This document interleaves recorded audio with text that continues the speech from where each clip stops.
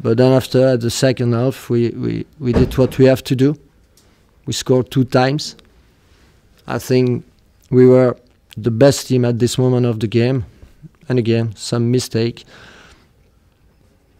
uh, made at the end cost a lot, of course, because in our situation we we are not allowed to do this kind of mistakes. So again, disappointed, and on the same time, um, the last game that we played, we we match the opponent, we compete with all the the, the, the the sides. Sometimes we even do better than only only competing. We we have some control of the game, but the most important is to be realistic in football, and we are not at this moment.